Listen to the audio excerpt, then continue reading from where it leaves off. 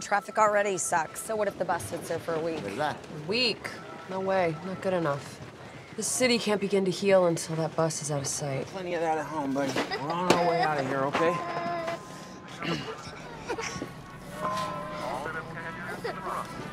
Daddy! I think he might have more than 10 items. We'll be out of here in just a minute, pal, okay?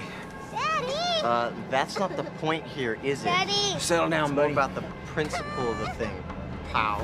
Principal. Guess manners don't run, in the family, do they? Pow.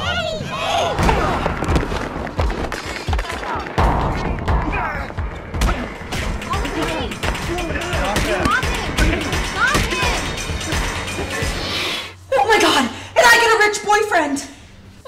Wait, what?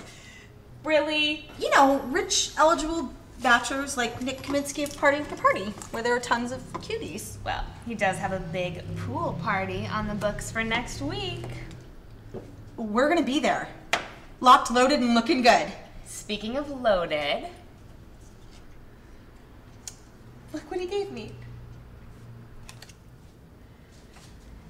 This is a Platinum American Express card. Yeah. I could buy the entire Mad Men box set. And you know I love me some Jon Hamm. That reminds me, I need prosciutto. He's having this big dinner. He's gonna propose to his high society girlfriend during this meal. And my food has to make her say yes.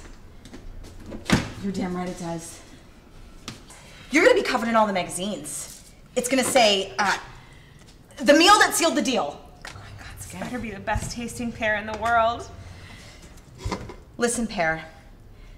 I have to admit it, I've been on a bit of a dry spell.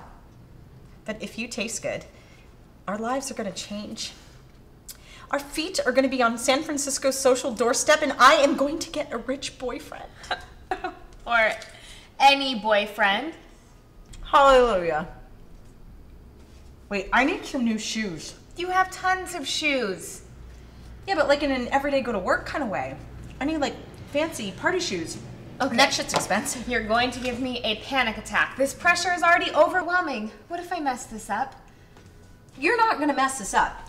Remember when we were at kids camp when I was so hungry I almost ate a pine cone? Anyways, you went into like the mess hall and you got ramen noodles and ketchup packets and a Bunsen burner and you whipped up this five star meal.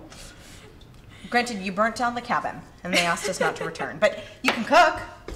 Girl, you can cook.